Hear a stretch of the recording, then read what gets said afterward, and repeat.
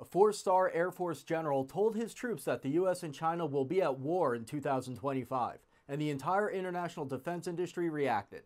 This comes shortly after a new think tank study concluded that the U.S. defense industry is unprepared for a conflict with China. Do you think we'll be at war with China in the next two years? Tell me in the comments section below. General Mike Minihan, who leads the Air Force's Air Mobility Command, sent out a memo noting that both Taiwan and the U.S. are having elections in 2024. General Minihan pointed out that China could make a move while we are politically distracted.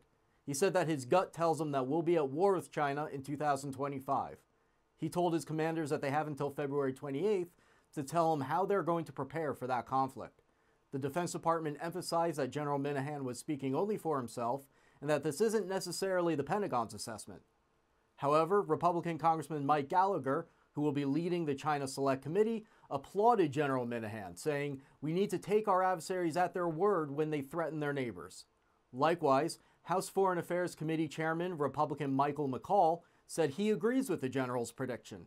He believes that China will try to influence the elections in Taiwan, and then, if the CCP doesn't like the outcome, they're going to consider invading Taiwan. House Armed Services Committee ranking member, Democrat Adam Smith, disagreed. He said, I want to be completely clear. It's not only not inevitable, it's highly unlikely.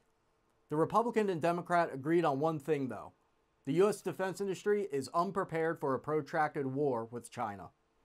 The Center for Strategic and International Studies, or CSIS, has just completed a study that found that the U.S. would run out of long range, precision guided munitions and other weapons in less than a week if a conflict happened. Representative McCaul agreed with the report, saying, Our defense industrial base is broken. Representative Adam Smith concurred, saying, We don't have the industrial base and we don't have the ability to ramp up that industrial base. The study concluded that the U.S. is running low on Javelin anti armor systems, Stinger anti-aircraft systems, 155mm howitzers, 155mm artillery rounds, and counter-artillery radars. The CSIS authors said these shortages are not because of our aid to Ukraine. Most of the weapon systems we provide Ukraine are not the ones we'd use in a conflict with China.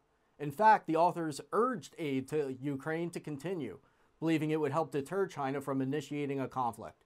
Do you expect a war with China in the next two years? Let us know in the comments section. I'm Ryan Morrow for American Military News. Thanks for watching.